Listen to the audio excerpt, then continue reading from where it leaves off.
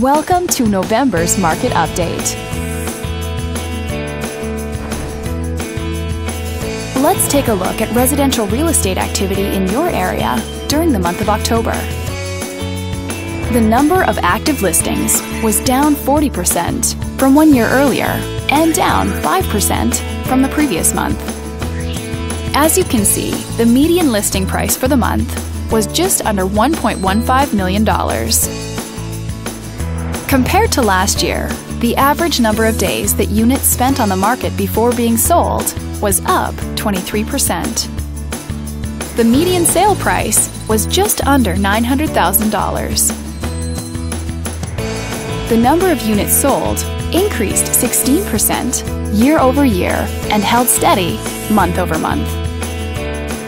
Thanks for watching. We hope you use this information to make smart, informed decisions in your upcoming real estate transactions. Feel free to contact us for more information or further assistance.